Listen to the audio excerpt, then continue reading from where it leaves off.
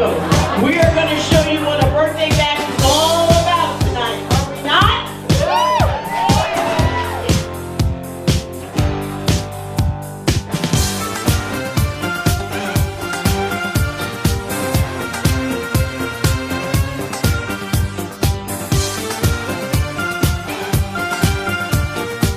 We are here. We are Lehigh Valley people.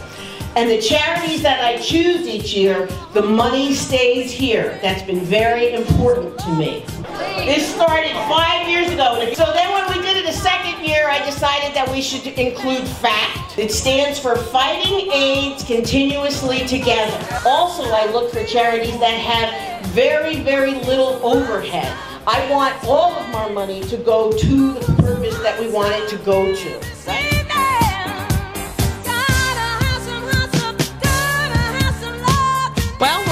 Gail Hoover's birthday bash, and as you can see, we've got tons of food, very generously, thoughtfully, and lovingly cooked and prepared for this event, all courtesy of myself, Cater to Me, No Stoves, Culinary Experience, 904, Jenny's Koali, Mateys, Mayflower, and if I missed anybody, I'm really sorry.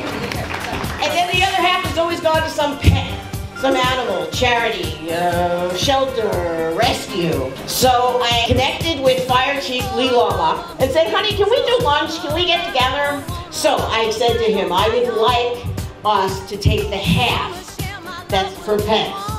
And I would like to outfit first responders, fire police, EMS with oxygen kits for pets when you get on scene. So he said what we could really use is nylon crates so that when we get a cat or a dog, we can put them aside, keep them safe, and, and we know where they are.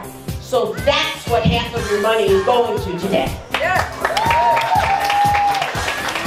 They actually provided us with uh, 10 crates as well as 15 uh, Pet O2 uh, kits. Uh, we've actually deployed them already with the fire that we had last week. We've actually deployed them. We had a few on our EMS rigs before this, um, so this actually just supplements that um, quantity we had.